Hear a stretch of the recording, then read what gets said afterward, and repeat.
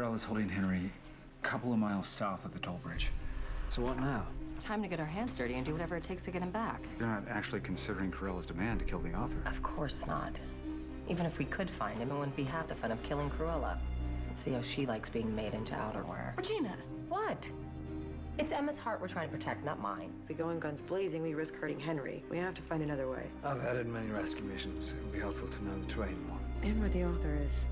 If he's enemies with Cruella, maybe he knows the best way to defeat her. But we may be able to help with that. We went back to the convent and found the flask that we gave him. He dropped it when he escaped. A locator spell might work on it. Sounds like a perfect job for you two. I'll take Regina and Hook and we'll scope out the area where Cruella's holed up with Henry.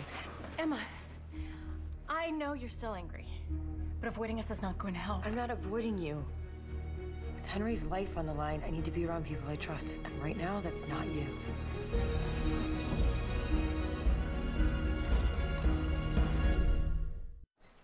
You're acting like a petulant child.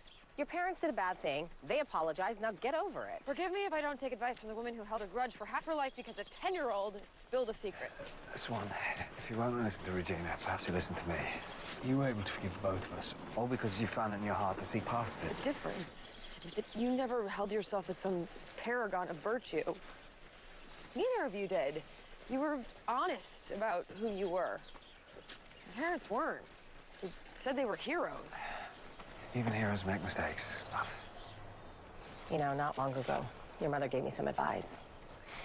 She said I needed to believe I could still earn forgiveness, that I had a chance at grace. I didn't realize it then, but she was talking about herself. Emma, she's been trying to make up for what she did for a long time. You two understand them so well, you forgive them. I can't.